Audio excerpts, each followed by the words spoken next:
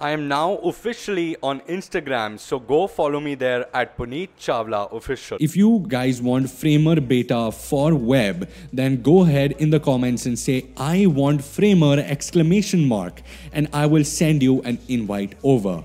Hey everyone, welcome back to another awesome video. Today we're checking out the best UI animation tool, which is now available for free on the web, so you don't even need to get the software for your computer. Now, Framer is a very famous tool made specifically for Mac, which is now on web. So both Mac and Windows users can use it even on Linux. So if we move down, we can see how amazing all these examples that they're portraying look. They're so fluid, look amazing.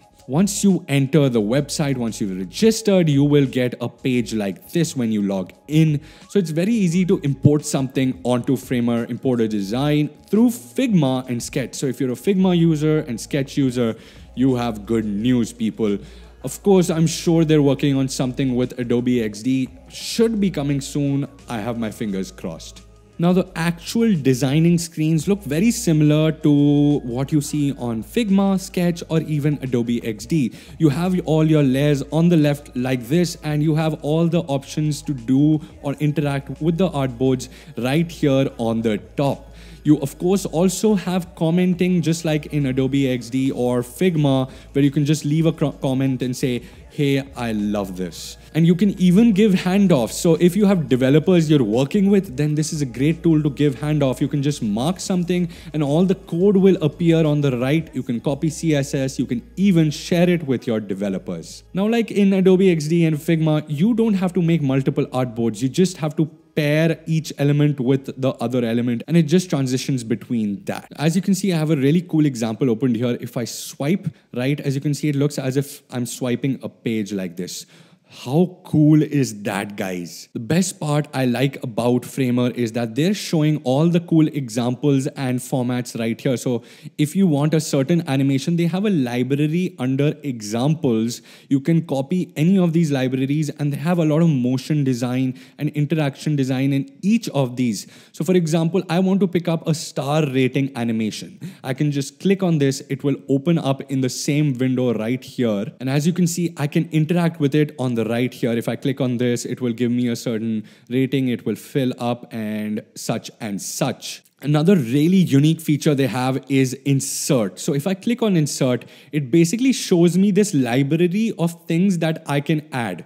So everything from the frames or artboards I want to add or interactions to all the plugins that they support to adding a frame like iPhone 11, Google Pixel 4 and much more to also adding elements like buttons, checkboxes, everything is ready made. So this is something that is very unique that they give you a lot of ready made content which is already animated like sliders, sticky notes, loading indicator. So you will have everything everything in one place like a library of content. It's very, very simple to create a quick animation. I'll just show you guys how to do it with Framer for web. So if you go into insert, you open this up, you can click on this interactions tab here. I'll click on this. And as you can see, we get a lot of different sort of animations and interactions we can work with. One thing I really like is swiping between one page to the other. So I'll, I'll just choose this swipe between pages section right here.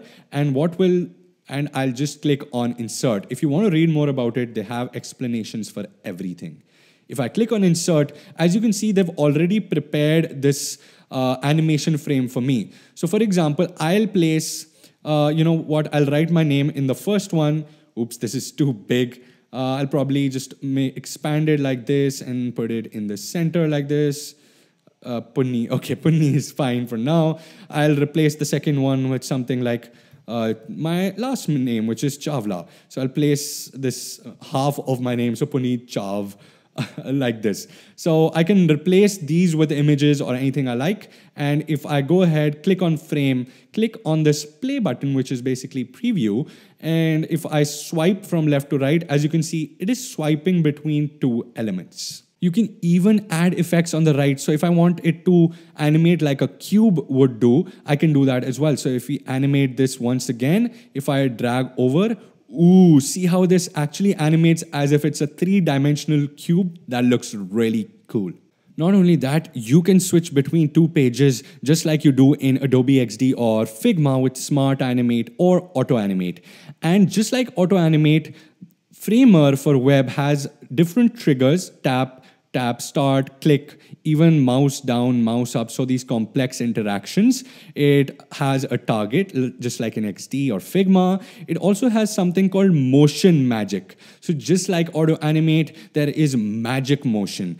Also, one more cool thing is you can change the Bezier curve. So if I move this uh, one on the top here, this angle will change and you can see at the bottom the preview. So every time you're designing or animating something, you can see a little preview of how the animation will work.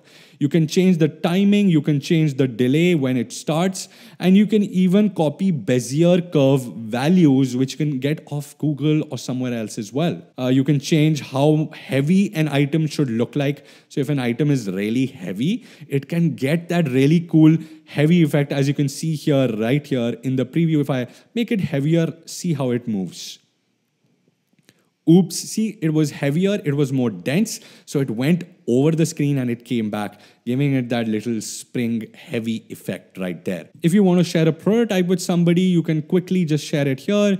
You can even hide Framer inter interface so people don't see all these. And much like Adobe XD, Figma, and Sketch, we have a public package section. So they have Material UI, Framer Base Kit, which is basically just to get started switches, framer, base kit again. And you can check out their entire library of just all these cool plugins that you can add. And the plugins are almost never ending, guys. I basically cannot touch the bottom, guys. This is this is absolutely ridiculous.